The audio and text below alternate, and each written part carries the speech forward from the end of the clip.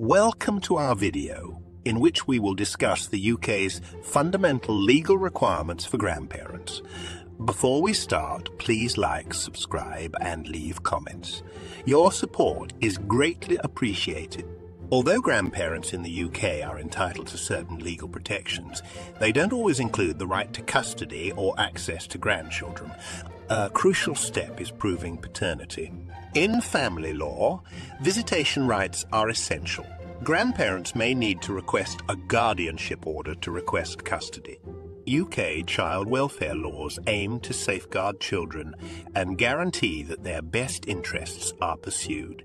Any grandparent can find navigating family court to be a challenging task. Grandparents, just like any other family member, should take adoption seriously. Another area of family law that affects grandparents is guardianship. Many resources are available in the UK to provide grandparents with legal support. Understanding grandparent rights is essential.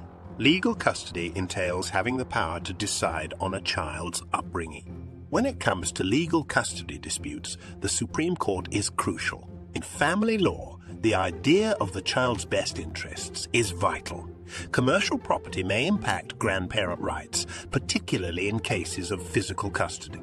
The family law complaints process can be complicated. Legal actions known as care proceedings are taken when there are worries about a child's welfare.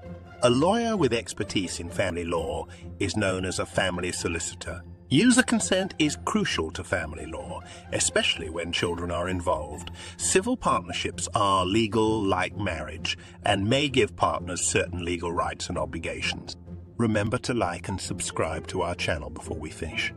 I would appreciate your assistance.